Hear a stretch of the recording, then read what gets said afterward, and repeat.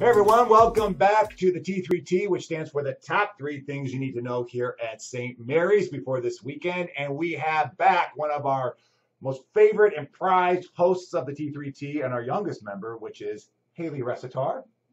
Welcome back.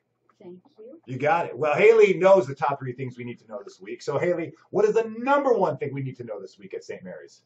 Pledge card. That is right. Turn them in. They're due this weekend. We need to have those in. So, great. How about number two?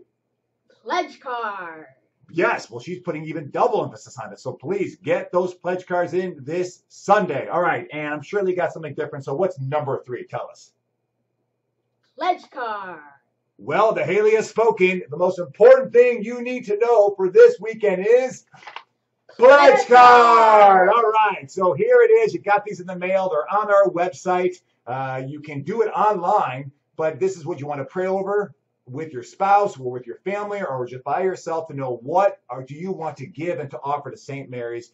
This is what makes the whole engine tick here. So pray on it is a walk of faith with God, but it's also you've seen all the ministries, you know what we're up to, but we got to fund them, we got to keep them moving, and we all do it together. We are one. So all of us are contributing. As you can see here, Hailey's doing it and you're going to hear about her offering this Sunday. But until then, pray on it, turn, uh, turn it in this weekend, or do it online because the number one thing we want to have ready by this weekend is pledge card. All right, those are the top three things, and we will see you this weekend.